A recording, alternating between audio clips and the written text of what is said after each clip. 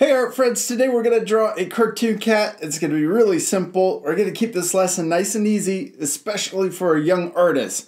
I hope you have a marker and you have some paper and you're going to follow along with me. Now when I'm drawing by myself, sometimes I may go too fast, so remember you can always pause the video.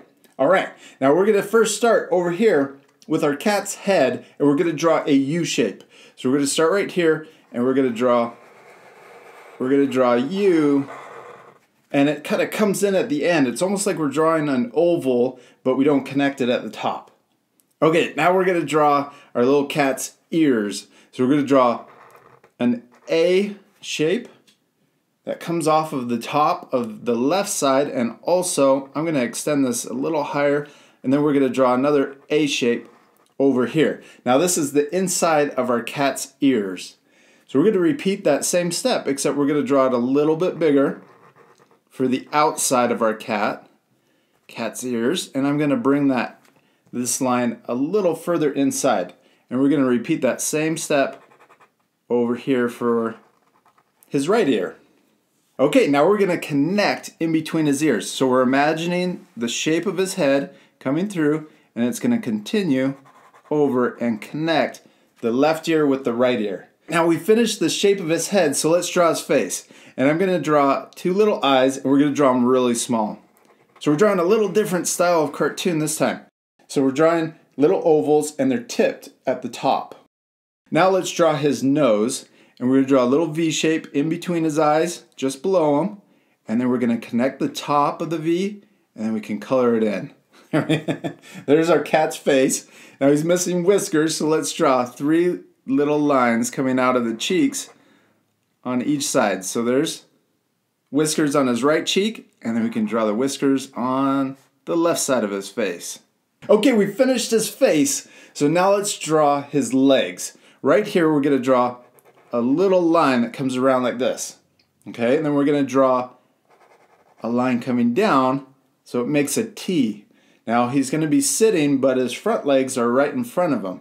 So now we're going to finish his legs. So we're going to draw the left leg, and then we're going to draw the right leg. There's his front legs. now he's missing his paws, so let's draw two little lines for his toes on each foot. now we're going to draw the rest of his body, and he's going to be sitting. So we're going to keep this simple. We're just going to draw a little curve that comes out and connects to his, his little foot.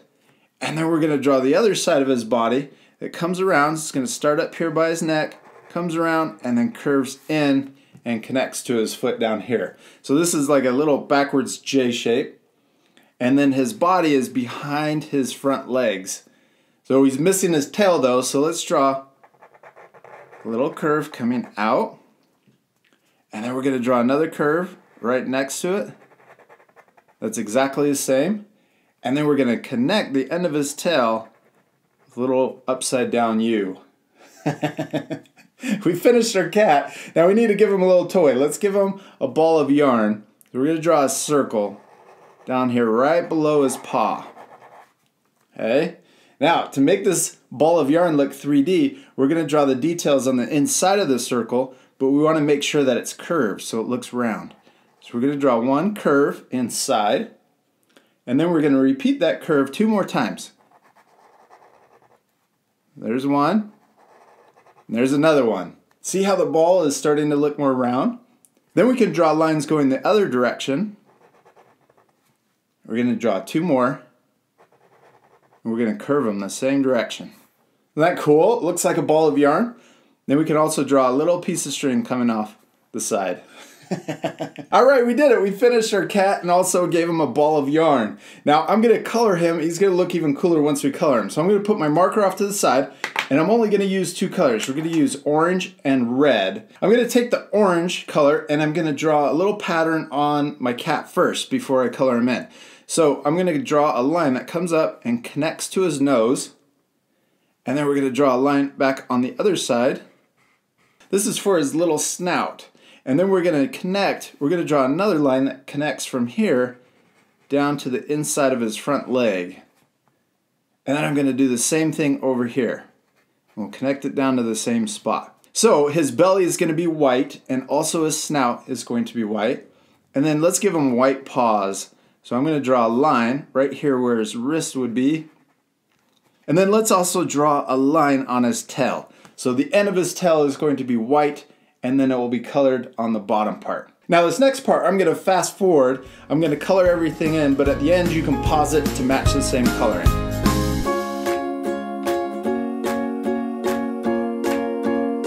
Alright, I finished my cat. Now you guys can pause the video right now to match the same coloring. I colored his whole body orange except for his nose and his belly and his paws and the end of his tail. And then I also added red stripes on his body and also on his head and then I use the red to shade the ball of yarn. Now if you want to learn how to draw this same cat in two additional poses, be sure to ask a parent or an adult to head over to artforkidshub.com slash subscribe and become an art club member. Now, just for our art club members, I'm showing you how to draw these two additional cats, but we also have a lot of additional lessons that aren't on our YouTube channel. So be sure to ask your parents to check it out, and we'll see you later, our friends. Goodbye!